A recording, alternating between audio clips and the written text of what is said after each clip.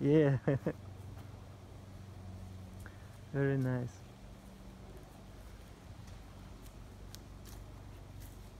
Hello, Kabi. Hello, How you feel yourself after the operation? I feel good, very good.